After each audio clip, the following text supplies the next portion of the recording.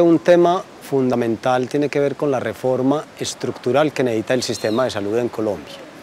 Y digo estructural porque en este momento cursa en el Senado una reforma eh, que no da respuestas a las necesidades que hemos planteado desde la academia y los diferentes actores sociales que tienen que ver con el sistema de salud en Colombia. La primera parte que nosotros queríamos, eh, creemos que se debe tener en cuenta tiene que ver con el modelo de salud.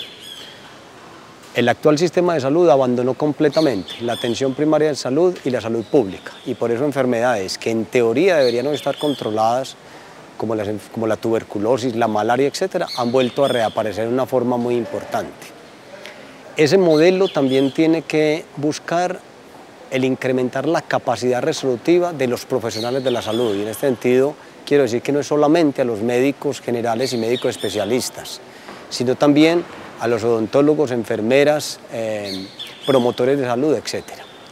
También tiene que contemplar el flujo adecuado de recursos. Aquí tenemos un problema muy grave en flujo de recursos que está llevando hoy a una crisis insalvable a la red hospitalaria pública y privada de este país, que si no se corrige, pues definitivamente va a ser una debacle total a nivel de país porque las personas hoy tienen un carnet hablamos de aseguramiento, pero no tienen accesibilidad real. Y uno de los temas que también creemos que se debe incluir tiene que ver con el derecho fundamental a la salud. Pues se está trabajando una ley estatutaria, pero creemos que cuando hablamos de derecho es garantizar igualmente la verdadera accesibilidad a los servicios de salud. Nosotros como académicos muchas veces vemos lo que pasa hoy con una mujer con un cáncer de seno, que se esperan meses y meses para poder asistir a la consulta con un médico especialista y que le puedan ordenar un tratamiento definitivo o paliativo y lo que estamos viendo es la evolución natural de las enfermedades.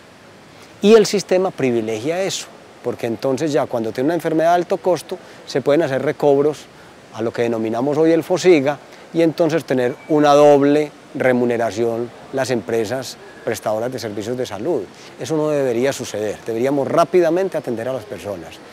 Estos son algunos de los puntos que creemos nosotros deben tocarse frente al tema de salud. Reforma estructural y contemplar la verdadera accesibilidad y prevención y promoción de la salud en el sistema de salud que se proponga. Si cambiamos el modelo y no privilegiamos la enfermedad, sino la salud, y nos dedicamos verdaderamente a hacer promoción de la salud, prevención de la enfermedad, porque no, no estamos hablando de un sistema de salud, estamos hablando de un sistema de la enfermedad.